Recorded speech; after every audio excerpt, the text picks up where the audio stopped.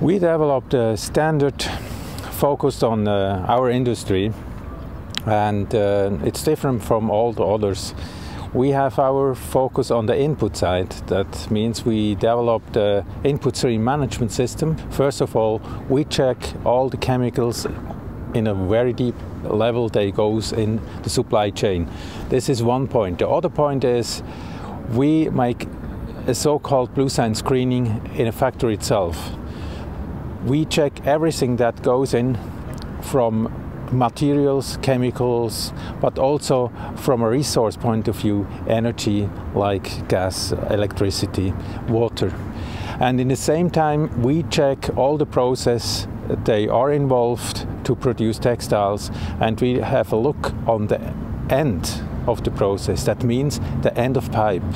And so we check the air emission, the water emission. And between the input and the output is always a workplace. So we have to take care also about the workers. They are uh, confronted with chemicals and processes. The original project was so-called Blue Planet and then we decided to make uh, this sign, this blue sign, because it's much more than a test at the end at the final product. Then we believe this is too late. We have to check everything is involved in the supply chain so that we can bring at the end of the day a transparency in our industry. We are very proud in Europe that we developed 40 different eco labels and worldwide we have more than 80 eco labels and the problem is now that uh, the consumer at the end he cannot make a differentiation and he don't really know what is behind.